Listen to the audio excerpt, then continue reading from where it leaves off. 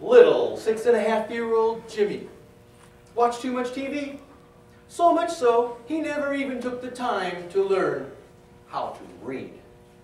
Well, one day, while watching TV in his favorite chair, he watched Dorothy dream about somewhere over the rainbow.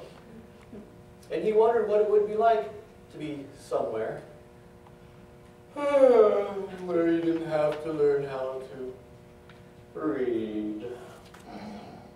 Suddenly, he was awakened by someone tapping him on the head with a wand. It was Glinda, the Witch of the North.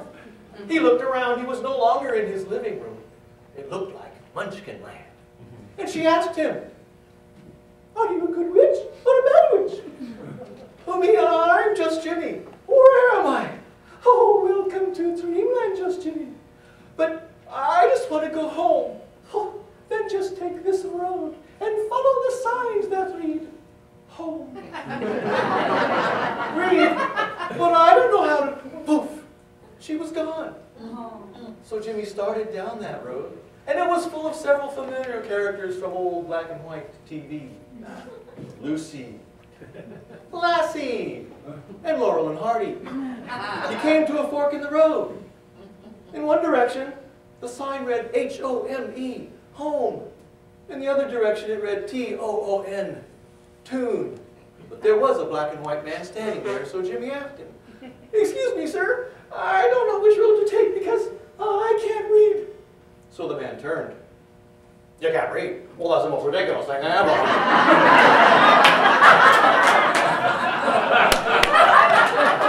well, just then, a roadrunner showed up at Jimmy's feet.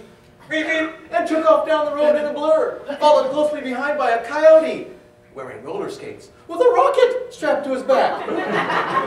well, Jimmy didn't know which way to go, so he followed them to a very colorful land full of cartoons, Mickey Mouse, and Mighty Mouse, and Huckleberry Hound.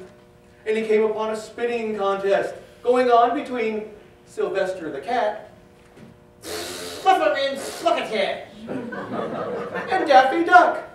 You're despicable. he came to another fork in the road.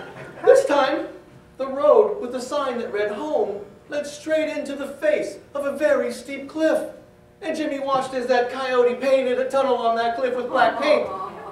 But that roadrunner ran right through that fake tunnel. The coyote tried to follow, but kaboom! So Jimmy decided he'd take the other road. But that road had a sign posted that read, E-V-I-L, evil. And as he continued down that road, there were more signs posted. Beware. Turn back. hey, you, can't you read? he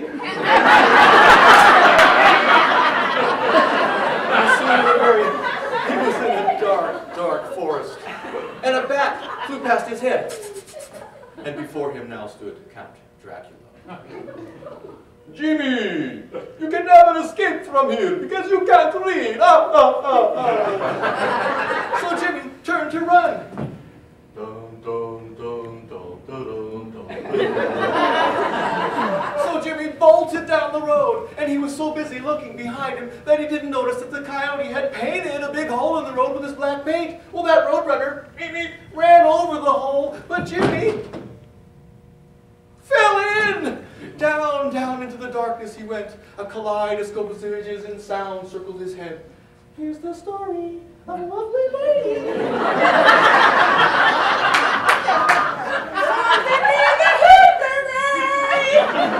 Jimmy closed his eyes. And it stopped.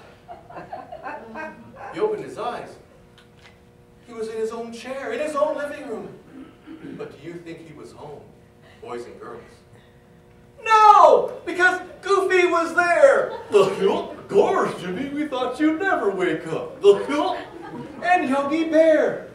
Hey, Jimmy, not knowing how to read is a real boo-boo.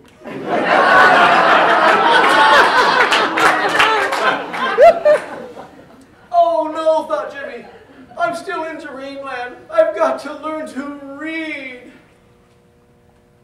Boys and girls, Do you think Jimmy will ever find his way out of dreamland?